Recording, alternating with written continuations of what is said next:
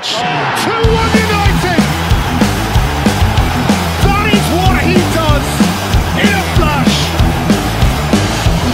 Worth his weight in coals! A center forward and midfielder are top of the manager's wish list with a raft of names being linked.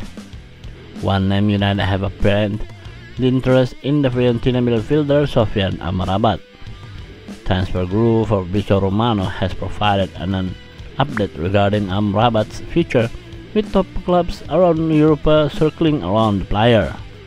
Speaking on his daily podcast, for Caught Offside, Romano saying there has been no direct contact between United and Amrabat, with Barcelona lurking.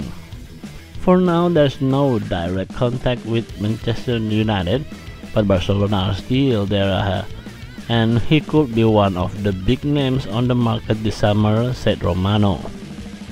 Romano also claimed that United were close to bringing in Amrabat in January, but plumped for the loan signing of Marcel Sabitzer instead.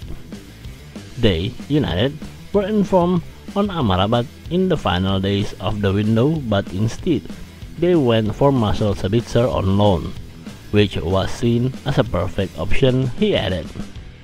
Sabitzer has proven a solid option for Ten Hag in the second half of the season, but it's still unclear what his future holds at the end of the deal.